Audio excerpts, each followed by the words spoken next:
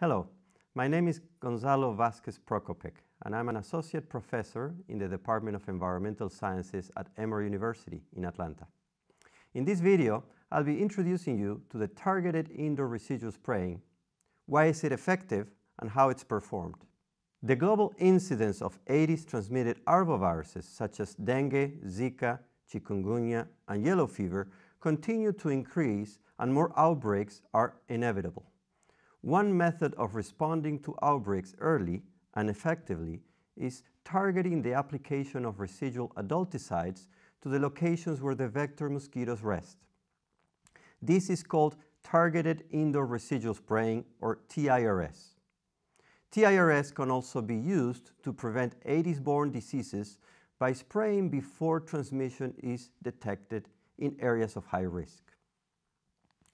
Targeted indoor residual spraying is the application of residual insecticides to the resting sites of Aedes mosquitoes inside houses. While primarily targeting the Aedes aegypti, TIRS can be effective against Aedes albopictus in areas where it rests indoors. When the vector uh, comes into contact with the sprayed surface, it absorbs a lethal dose of the insecticide and reduces vector densities. Dark refuges below 1.5 meters in height are sprayed in high-risk structures or areas to prevent the escalation of an ongoing outbreak. This method is recommended by the WHO, the World Health Organization, and has yielded an 86 to 96% reduction in dengue in the Australian city of Cairns, where it controlled pyrethroid susceptible Aedes aegypti by spraying pyrethroid insecticides. Historical evidence shows that this method in combination with larval control has contributed to the elimination of Aedes aegypti species in the Americas, Guyana, and the Cayman Islands. The biggest advantage of TIRS is that it's proven to be effective. The residual effects last for up to seven months with chlorfenapyr, Actellic, and SumiShield.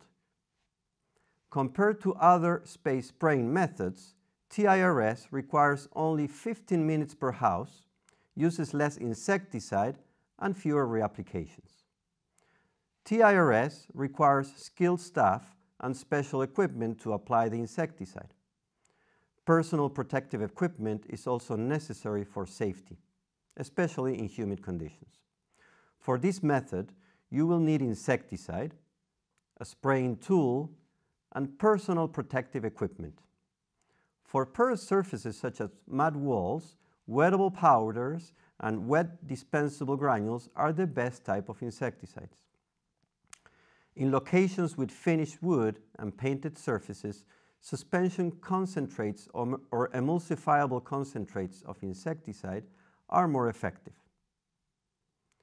Less insecticide is needed on non-absorbent surfaces. For instance, 30 milliliters per square meter instead of 40 milliliters per square meter. To spray the insecticide, hand or battery-powered compression pump sprays are used. They have a tank to hold the insecticide, which can be pressurized with the attached hand pump. For larger structures like schools and corporate buildings, Motorized sprayers that use gasoline or electrical motors are used. A flexible neck can be attached to the sprayers to target hard-to-reach areas. Now, we are going to demonstrate the application of insecticide using the TIRS method. First, we ensure that we are wearing our personal protective equipment correctly. Then, we want to find dark resting spots less than 1.5 meter off the floor to target the spray. These may include, if socially acceptable, the interior of wardrobes, under tables and beds, as well as the lower half of walls. When we are spraying, we want to make sure that the nozzle is 45 centimeters away from the surface.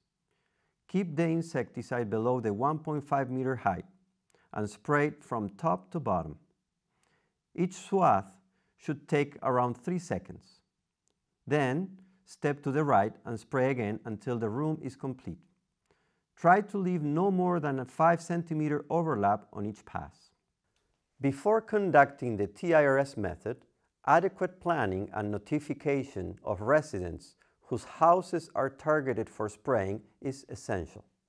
Equipment, locations, and transportation are all need to be planned in advance.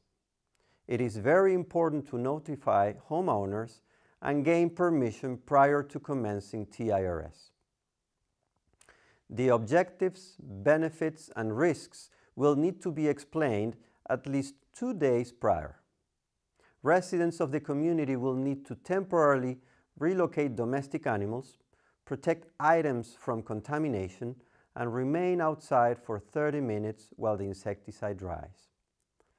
Effective data and record management is critical to ensuring the ongoing efficacy of TIRS. It is critical that supervisors maintain accurate daily records of the location of each house, insecticide sachets, and other relevant information such as any rooms that were inaccessible during spraying. Thank you so much for watching and goodbye.